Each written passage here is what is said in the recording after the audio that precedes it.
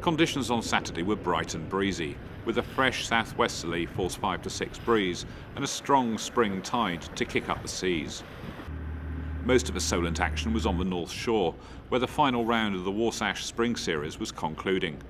While over in Cowes, we had the first weekend of a Cowes Keelboat Solent Series, hosted by the Island Sailing Club. First away were the Darings. Traditionally, this fleet has the biggest turnout of all the Cowes dayboat classes, and this weekend was no exception.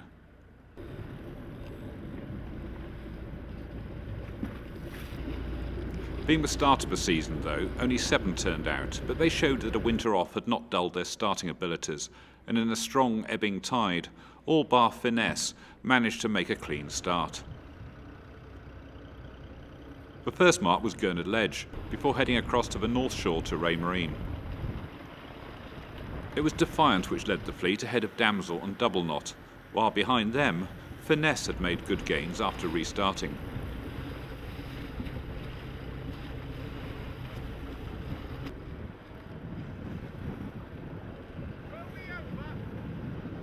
In fact, Finesse continued to work her way up the fleet into the lead, and she won the race after two hours racing by just three seconds from Damsel, with Defiant taking third, just 10 seconds astern. Whilst the Daring fleet showed attention to detail on the starting line, the three strong Dragon fleet didn't, and they were not even close to the line when the start gun went. Even worse, they all started on the wrong side of the inner distance mark. They battled west through the increasing seas on the same course as the Darings, with Ecstatic leading the way, followed by Cool Runnings and Cavalier.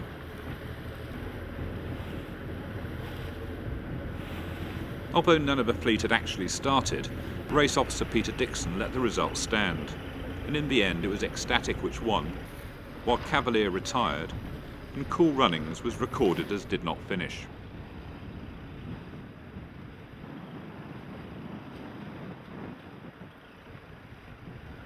This year, the new Cowes X-Boat division is a new addition to the keelboat series. The fleet is said to have 14 boats, but only three turned up to play today, perhaps put off by the fresh breeze and lumpy conditions. Neil Clifford approached the start line early and on the wrong side of the inner distance mark. He turned round to recross, but still missed the inner distance. Sarah Ross, in only her second season at the helm, got the best start and was the right side of the inner distance. She led the fleet away to the first mark off the green.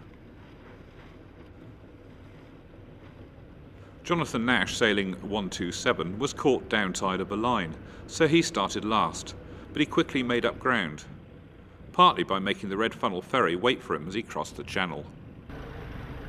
Sarah Ross rounded the first mark in the lead. Behind her came Neil Clifford, with Jonathan Nash in close pursuit.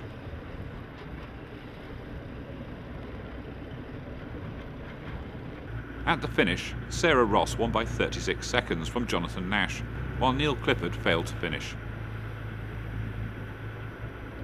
The Island Sailing Club sent the fleets to the east in glorious sunshine on Sunday with a perfect force 3 but has swung to the southeast. Today, the Daring fleet only mustered five boats, but nonetheless they enjoyed perfect conditions. With the tide ebbing and the first mark to be left to port, it was a difficult choice to start inshore for some tide relief or further out for the inside berth at the mark. Near the mark the wind headed and it was Dynamite which reached the mark first, closely followed by Finesse and Darling. Defiant had a poor start and first leg and wasn't well placed at the first mark. The course was a tricky one, taking the fleet across the strong tide and back again with some tough decisions to be made on the beats.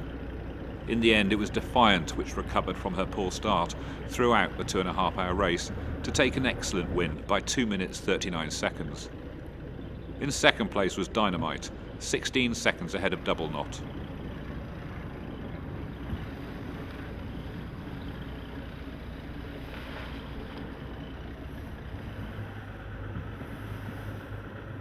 Four dragons turned out on Sunday and were rewarded with the great conditions.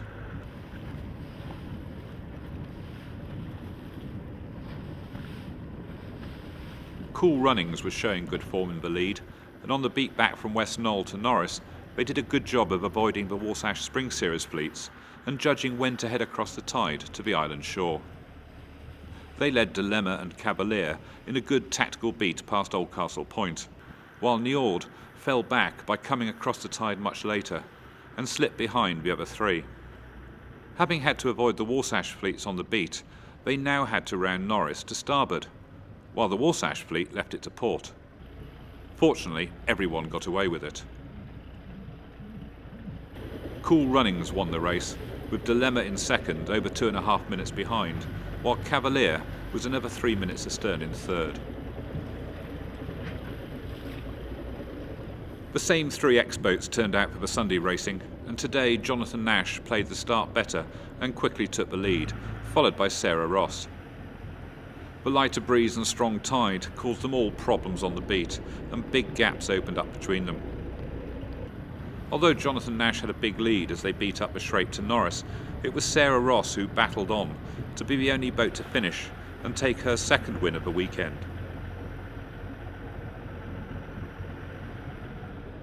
Whilst the UK is struggling in the grip of recession, you'd hardly have known it on the Solent this weekend. The last weekend of racing for the Warsash Spring Series and Solent Championship saw a strong fleet turn out to revel in the glorious conditions. The Solent looked so packed with boats at times that it became hard to pick out the smaller one design boats the Cowes Keelboat series. Recession? What recession? Let's go sailing.